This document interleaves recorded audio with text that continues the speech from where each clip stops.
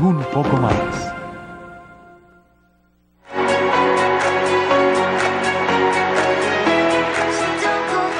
De regreso con ustedes aquí en Control Pensini por Novisión. Bueno, vamos a hablar con Jesús Alexis González, él es economista y bueno, con tantos temas que tenemos aquí pendientes del país. Jesús, bienvenido al programa. ¿Cómo estás? Muchas gracias, Pedro, por la invitación. Respetuoso saludo a tu audiencia. Muchísimas gracias. Mira, vamos a empezar a hablar sobre cómo llegamos a esta situación en el país, porque no es solamente un problema de, de, de lo que, de las medidas que pueda tomar el gobierno, no, sino también depende del precio del petróleo, o es simplemente que sí se trata de una combinación de ambos. Dime tú cuál es tu Sí, sí, es muy holístico, Pedro. La situación tiene distintísimas causas, unas más puntuales que otras, pero yo diría que el problema fundamental de la economía venezolana es justamente la ausencia de economía política. Entendida economía política de la manera más sencilla, es la disciplina que estudia cómo el poder político influye sobre la economía. Entonces, si en Venezuela estamos permanentemente ausentes de economía política, en un país donde todos los ingresos los maneja y mucho más después del 2004 con las modificaciones que se han hecho, que es un país presidencialista, ¿cómo suponer que se puede desarrollar un sector privado cuando quien maneja el poder político, como lo dice la ortodoxia, es quien te afecta para bien o para mal la economía. Entonces tú oyes hablar los, los sujetos, cualquiera que fueran los sujetos, como si todo estuviese marchando en armonía. Como decía Fidel, no porque tengas apellido Aguilar tienes pico y pluma. No, por Dios. Entonces, todos hablan, ya yo tengo un plan concreto, pero has hablado del, del efecto que tiene tu plan sobre la, el proyecto de país que tiene el gobierno. Si no, es una yuxtaposición permanente de realidades. Entonces, decimos, por ejemplo, no, un plan de ajuste para superar el estado de situación actual.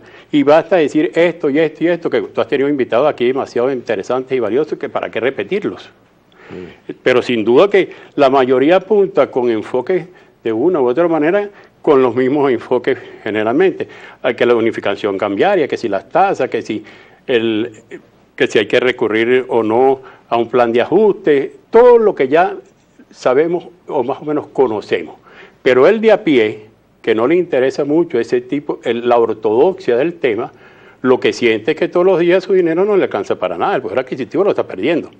Y todos los días, entonces oímos, como, como acaba de decir el invitado que nos antecedió, que ya hay un proyecto concreto para un plan económico. No, aquí no puede haber plan económico si no hay primero una economía política que medie sobre el proceso que, que se cierne. Porque, por ejemplo... Pero entonces, eh, ¿cómo se, se, instaura, se pone una economía política si no es a través de este Parlamento, a través de los mecanismos que nosotros conocemos? En la economía política, primero que no tiene que participar únicamente el gobierno como, como, como estructura burocrática, ni, por ejemplo, Fede Cámara y Comercio. Es la, cómo afecta a la economía, mm. no cómo afecta a Fede Cámara ni cómo afecta a Comercio, cómo afecta en todo caso al consumidor final. Cómo lo que hace el gobierno o deja de hacer el gobierno afecta al consumidor final.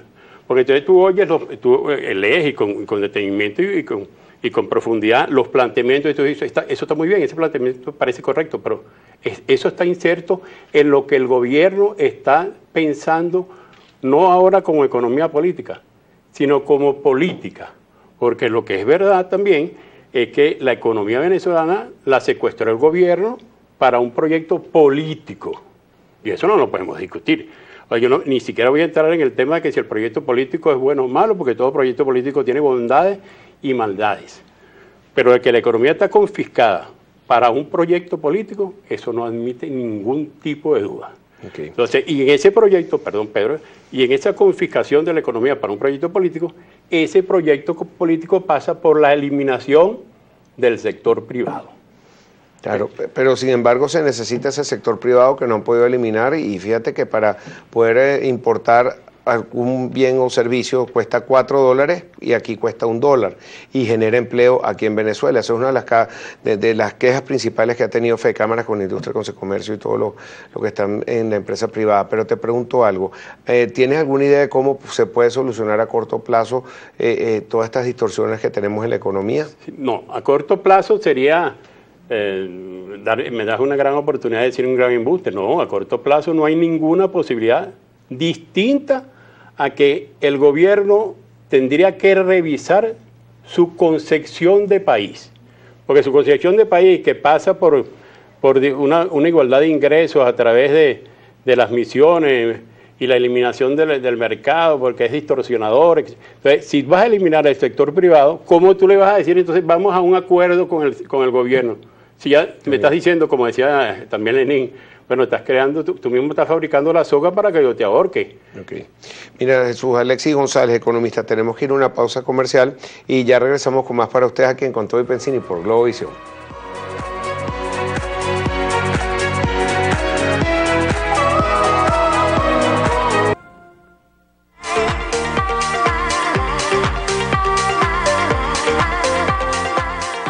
Regreso con ustedes aquí en Con Todo y Pensini por Globovisión. Estamos con el economista Jesús Alexis González hablando de todos estos temas que nos preocupan, el bolsillo del venezolano. Mira, cada vez que tengo algún entrevistado, tienen distintos escenarios de inflación, tú mismo me lo has dicho.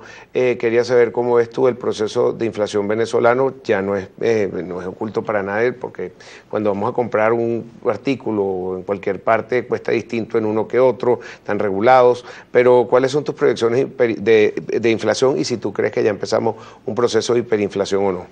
Sí, sin duda alguna.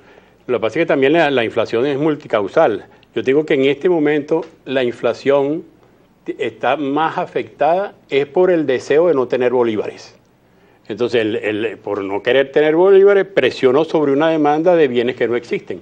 Sin duda que eso genera inflación, eso, no sé, eso es hasta elemental. El deseo de no tener bolívares es porque te el deseo, Sí, claro, el deseo de cambiar una moneda que ha perdido su valor. Por una que sí lo mantenga. Por algo que te lo mantenga o que por lo menos te compense el deterioro. Porque cuando eh, empiezan a cruzar eh, variables sobre la función del dinero, la función del dinero de toda la vida ha sido conservar el valor en el tiempo y tu patrimonio. Entonces, ¿cómo conservas tu patrimonio si, a diario, si la inflación es del 150, que son mis números a 160 este año, otros, algunos números que al leerlo solamente asusta, ¿no? Pero ya 160 es una locura. Si la inflación del mundo, la inflación promedio del mundo es 3.5%, y nosotros estamos hablando como que afortunadamente a lo mejor llegamos a 150. ¿Usted imagina, Pedro? 5 contra, eh, de 3.5 a 150.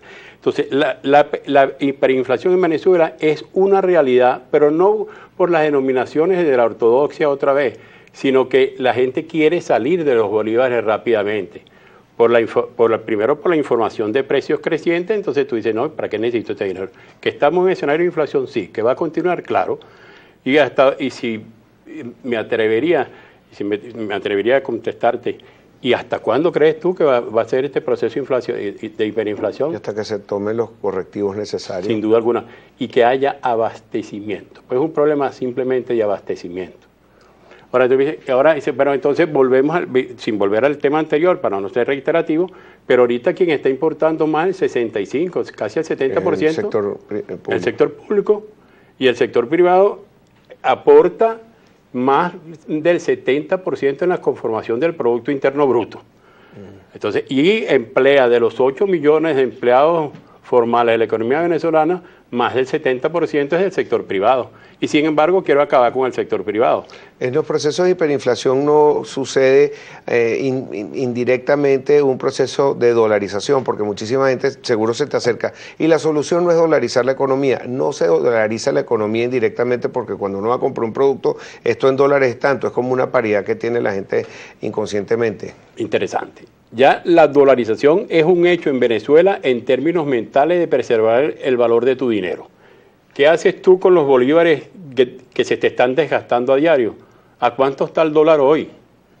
Entonces tú conviertes un bolívar que, para, que no sabes cuánto, qué puedes hacer con él dentro de poco, lo cambias por una moneda fuerte que con todo la, O algo que tenga el valor de esa moneda fuerte. O algo que, puedas hacer, que puedas cambiarla por esa moneda. Pero en todo caso, la presión sobre divisas es, justamente eso.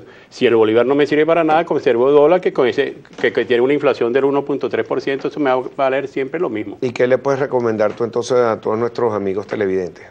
Bueno, primero tenemos que exigir el cumplimiento de la Constitución en materia económica que está muy clara. Si uno se lee la constitución de Venezuela, aquí lo que hay es un irrespeto total a lo que debe ser la economía venezolana. Si nosotros nos pusiéramos a exigir con fuerza que se nos respeten nuestros derechos constitucionales en materia de economía, aquí no habría más nada que hablar y vendríamos un programa, si nos vuelve a invitar, a hablar de cosas mucho más interesantes que la tragedia económica. Yo creo que nosotros tenemos que ir irreversiblemente, Pedro, a una situación de diálogo de economía política, y porque no hay ninguna otra oportunidad. Aquí no es que pueden haber mil planes, veinte planes, que si vamos al Fondo Monetario no vamos al Fondo Monetario Internacional. De hecho, ir o no al fondo como, una, como, una, eh, como un hecho tangible, porque ya hemos ido al Fondo Monetario Internacional tres veces en lo que va de, eh, en, el último año a retirar fondos que no corresponden, pero, es ir al Fondo Monetario Internacional. Sí, es a través de los derechos especiales de giro, pero ya es pedir un paquete formal, ya ha cambiado mucho en los últimos más de 20 años que Venezuela se sometió a ese shock treatment o tratamiento de shock, ha cambiado el Fondo Monetario. ¿Tú crees que es probable que si se que si recurrimos a él nos, nos ayuda a tomar las, las medidas claro correctivas necesarias en la economía. No tengo la menor duda, Pedro. Sin embargo, volvemos a pasar por un problema de, del enfoque político de la economía. Nosotros, el país, en el año 2004, por decisión del eh, el hoy difunto Chávez, decidió que el, Fondo Monetario Internacional y el Banco Mundial no servían para nada, que eso era una presión sobre un país, etcétera, etcétera, etcétera, y nos retiramos del Fondo Monetario Internacional. O sea que Venezuela desde el 2004, o sea, tiene 11 años aproximadamente, que no rinde cuentas, creo que es el artículo 4 del número romano, que establece que todos los países que están en el fondo deben presentar un informe anual sobre la situación del país. Bueno, Venezuela no ha presentado en los últimos 11 años un informe al fondo. Entonces, ¿cómo puede el fondo decirte a ti, bueno, vamos a ver, te voy a prestar, te voy a, dar, te voy a facilitar unos recursos para un plan de ajuste. ¿Ajustar qué? Si ni siquiera sé qué es lo que te está pasando. Eso es igual que cuando, el, cuando se dice que el ministro, después de, después de 11 años, el ministro de, de Finanzas venezolano, después de 10 años, se reunió con los banqueros. Al banquero no le importa para qué utilizas tu dinero, si es un plan populista o no es si me puedes pagar o no. Claro, eso es lo importante, que genere flujo de caja, para devolverme lo que te presté. Así es. Alexis González, muchísimas gracias. Gracias, por estar con nosotros. Su Twitter es arroba jesusalexis2020. Y gracias por traer a tu hija estudiante que te vino a acompañar hoy, que es bachiller, pero ya está encaminándose en la vida a través de la economía, creo. Bueno, a mí me queda más nada sino despedirme y darles las gracias por su sintonía aquí en Conto y Pensini y por Glovision. Gracias. odontóloga.com